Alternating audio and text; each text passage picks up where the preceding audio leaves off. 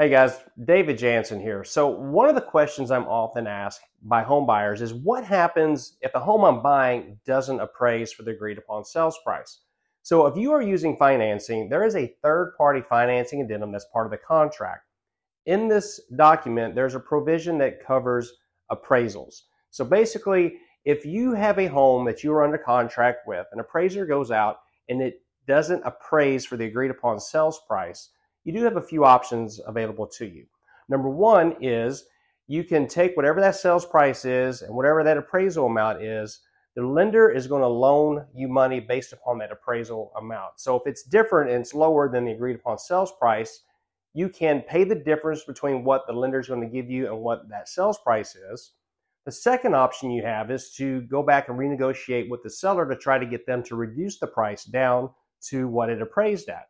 If that doesn't work, the third option is you can just walk away from that contract and get your earnest money back because the home didn't appraise. Now, there are different situations where you may want to waive that appraisal if you have the means to cover it or if it's a pretty hot market. But in a traditional situation, that's what's going to happen if the home doesn't appraise. So if you got any questions, feel free to give me a call. My number is 281 610 6826.